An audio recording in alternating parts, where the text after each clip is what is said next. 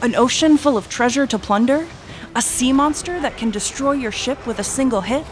A pirate lord who rains poison from the sky? All of this and more awaits when Skull and Bones set sail on February 16th, welcoming you to the cutthroat world of the Indian Ocean set during the golden age of piracy. While you start off as a shipwrecked outcast, you will fight, forge alliances, and make enemies as you build your empire and become a kingpin of the seas. And what then? Well, as a kingpin, you'll have the power to take on endgame events and challenges worthy of a pirate of your stature. But you will not remain unchallenged. Skull and Bones will make you fight to keep your power and influence over the riches in the Indian Ocean. In a recent co op gameplay session, we had the opportunity to play around in Skull and Bones' endgame. Your level in the game is measured by infamy, and we were set at Kingpin, the highest ranking. Because of that, we had a substantial fleet of ships and weapons at our disposal to take on Skull and Bones' endgame loop, which is full of opportunities to take on legendary challenges, cement yourself as a powerhouse in different regions of the Indian Ocean, and even change up a few early game mechanics. One such opportunity is capturing manufacturers. Early in the game, you plunder outposts for valuable resources to upgrade items or complete contracts. Now, with world events like Hostile Takeover and Legendary Heist, more on those in a minute, you can take control of those manufacturers and make them work for you, making it a valuable asset to your empire. While you're off plundering unsuspecting merchants, it will passively earn you pieces of eight, a valuable currency used to buy rare and deadly black market items, such as the blueprint for a gun that can spit fire at your enemies. As you take over more manufacturers, you can set up your own trade routes and establish yourself as an economic powerhouse in different regions across the Indian Ocean. We were intrigued by the possibility of setting up our own production chain, so my party started a hostile takeover world event. We had a small fleet of ships to choose from, and we all picked the Brigantine, a DPS class ship designed for high damage and a quick getaway, loaded it up with hard hitting cannons and missiles, and set sail. In a hostile takeover event, you attack an outpost that has a production chain in order to, well, take it over and make it yours. Hostile takeovers are a PvPvE event in which you have to take out towers on the land, survive attacking ships rushing to the outpost's defense, and fend off other players who have come to claim the manufacturer for their own. My approach was simple use powerful long range cannons across my bow to inflict massive damage while enemy ships sailed into the harbor, use short range cannons to weaken them further until they got close enough to board, or close enough to ram my bow into their broadside, which is incredibly satisfying. Like, really, really satisfying. Despite our best efforts, we received a notification that we had failed the mission and another faction had gained control over the manufacturer before we did. It wasn't a total wash, however. Even if you fail a mission in Skull and Bones, there are still opportunities to take advantage of. In our case, the takeover turned into a plunder event where the three of us faced off against waves of enemies and were rewarded with increasingly valuable loot at the end of each assault.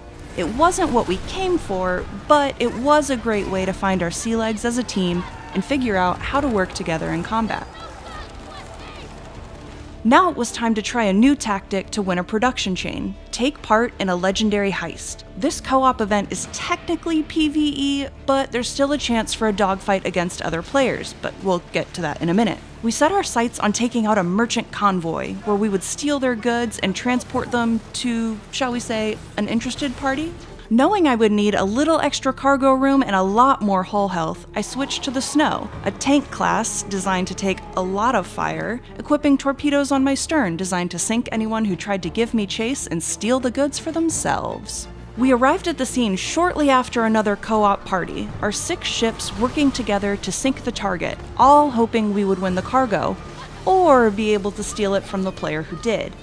Even within a co op party, only one person can carry the goods and get the reward. It's automatically onboarded to the person who dealt the most damage to the merchant vessel. In this case, me. Once those goods were on my ship, I turned and made for the delivery port as fast as the wind would carry me. The other party tried to take me out, but my teammates stayed behind and fought them off, giving me a chance to slip into the safe area of the outpost, deliver the goods, and claim the ultimate prize the Rayofia Weaver Manufacturer. Time to see what we had fought so hard to win. It turns out the Rayofia Weaver was a white skull rum manufacturer located just north of the pirate den St. Anne, and it would net 60 pieces of eight per hour once up and running, a hefty sum for any kingpin. However, in order to collect these ill gotten gains, it needed funding and sugarcane to start actually producing the rum. Silver I had to spare, but no sugarcane, so I would need to pilfer some and come back later. But before I could get to the sugarcane, it was time to go hunting. We picked up the Jaws of Retribution contract, where we needed to find, kill, and deliver the eye of a Tylosaurus to another pirate. We tracked down the monster who could ram ships from the water surface or dive beneath the waves, only to leap into the air and slam into your ship like a giant red wrecking ball. Getting hit by one of its aerial attacks is devastating, and it sent me to my watery grave many, many, many times. Because the sea monster moves so quickly and in such a wide area, it was hard for the Barque to land healing bombards, but by learning its attack patterns and communicating with one another whenever the beast was spotted, we were able to brace against its crushing blows and defeat it. We picked up its eye to finish the quest, along with some monster meat, which turned out to be an ingredient to make some tasty and stamina boosting Tylosaurus steak. Just then, a new world event began the Tides of Terror. Each season of Skull and Bones will introduce a new pirate lord who, upon hearing of the rich bounty and opportunities in the Indian Ocean, has come from afar to steal their share by any means necessary. In season 1, that pirate lord will be Philippe La Lapeste, a poisonous presence on the ocean. In the Tides of Terror event, we needed to take him out once and for all. After seeing the damage the Tylosaurus did to our party earlier, I decided to switch it up to a healing class, equipping the Barque ship with long range weapons, close range cannons in case of a dogfight, and healing bombards.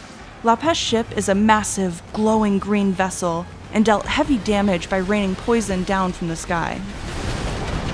Periodically, his ship would deploy floating bombs in the water, critical to dispatch before they sank one of our ships. Agility was key in this fight to avoid falling poison mortars and floating bombs, and sometimes friendly ships. But working together, using our combined firepower and healing abilities, we were able to sink the pirate lord and his massive ship to the depths. Victory was sweet and our waters were safe from La Peste once more, but there were still many lucrative opportunities on the horizon. We could collect our goods and supply the Rayofia Weaver with sugarcane, jump into the double or nothing Helm Wager plunder event happening on the north end of the map, or instigate another legendary heist to add to my production chain and set up a trade route. When you're a kingpin on the high seas, there's always another adventure waiting. The world events, ship classing and customization, and naval combat were just a taste of what Skull and Bones will have to offer when it launches on February 16th for Xbox Series X and S, PlayStation 5, Amazon Luna, and PC through Ubisoft Connect and the Epic Games Store. You can pre order Skull and Bones today at the Ubisoft Store or sign up for a Ubisoft Plus premium subscription to get three day early access.